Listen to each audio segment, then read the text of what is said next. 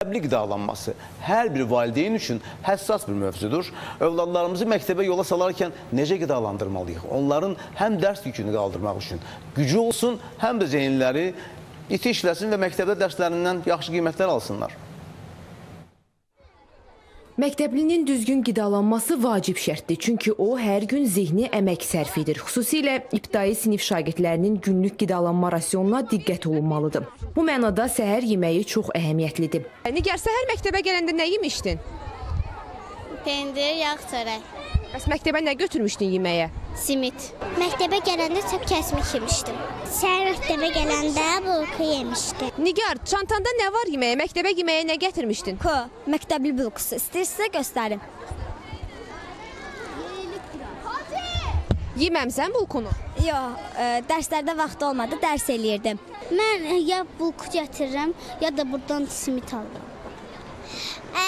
Mənə hərdən anam piçeni qoyur, banan qoyur. Buradan da ki bulku simit zadallar.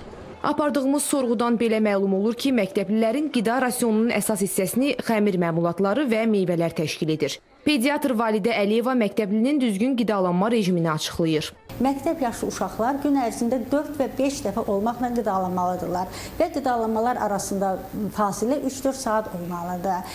Əgər uşaq birinci növbədə oxuyursa, bu birinci səhər yeməyini mütləq evdə yeməlidir. 7-8-in yarısı arası. İkinci səhər yeməyi artıq 10-11 arasında məktəbdə olmalıdır. Həkim qeyd etdi ki, inkişafda olan uşaqlar üçün zülalla bol olan qidalar məsləhətlidir. Yeməyinin 60%-ni zülal təşkil etməlidir. Çünki zülal yeməsə, uşaq qurula bilməz. Bu zülal nədən ibarətdir? Bu var süddə, süd məhsullarında, yumurtada, ət məhsullarında, soya bitkilərində, e, bəzi dənli meyvələrdə bunlar zülal çoxdur. Əziz valideynlər, həkim pediatr məsləhət görür ki, məktəbə yola saldığınız uşaqlara ya yumurta, ya da sıyıq yedizdirəsiz. Təbii ki, üzərinə kərə yağı əlavə etməklə. Uşaq yağlarla təmin olunmalıdır. Ən çox kərə yağı, 10-15% bitki yağı təşkil etməlidir. Kərə yağını uşaq yeməsə, onun mərkəzi sinir sistemi qurula bilməz. Üstəgəl yağ enerji enerji mənbəyidir. Uşaqlar bizim gələcəyimizdir. Bu gələcəyin sağlam olması üçün çalışmaq hər bir valideynin əsas vəzifəsidir.